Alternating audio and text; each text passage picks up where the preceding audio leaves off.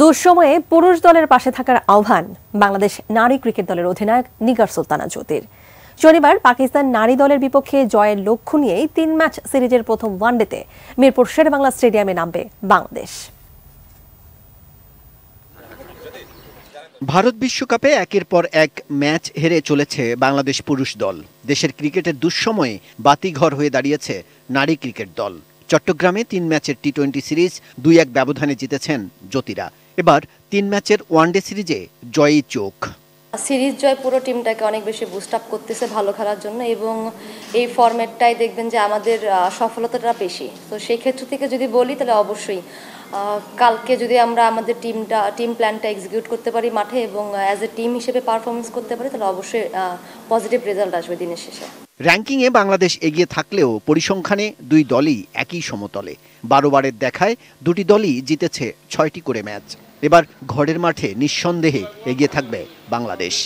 Limelight নেওয়ার মতো আমি কিছু দেখছি না, কারণ আমরা আমাদের অবস্থান থেকে খেলছি, তারা তাদের অবস্থান থেকে, কিন্তু দিন শেষে বাংলাদেশকে রিপ্রেজেন্ট করছি। আর সব থেকে বড় কথা ওনারা ভালো করছেন না, এখন আমরা ভালো করলে অনেক বেশি হাইলাইটেড হব, এটা আমার কোনোদিনও কাম্য না।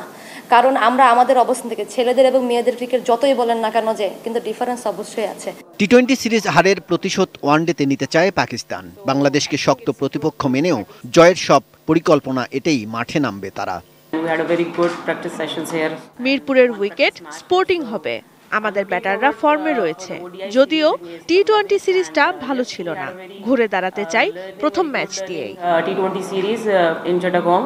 বিশ্বকাপের বাজে সময়ে কেউ পাশে নেই সাকিব লিটনদের। বাকি দুই ম্যাচ হারলে শুধু আফগানিস্তান ম্যাচের জয় ছাড়া বলা যায় খালি হাতেই ফিরতে হবে সাকিবদের।